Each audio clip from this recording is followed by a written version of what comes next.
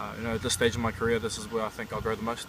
Um, definitely challenging, and you know, I think that's that grows character and hopefully, you know, not only grows and better rugby player, but as a better man. Uh, probably individually, you know, I have my little stints during the game and little patches, but it'd be nice to play at a high level for 80 minutes. Um, thank you to everyone for the support. Uh, I know it's been a tough couple of weeks, but like I said, um, we, we, remain optimistic, um, and we're looking forward to, to getting back to the Holy Grail this week in Eden Park. Um, please, baby, for life, you, we're so.